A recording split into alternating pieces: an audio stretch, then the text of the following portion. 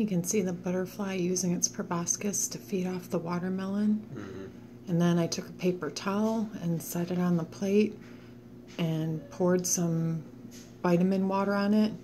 Um, the dragon fruit, or you can use fruit punch Gatorade, scrunch it up a little bit, and they can feed from that too. Mm-hmm.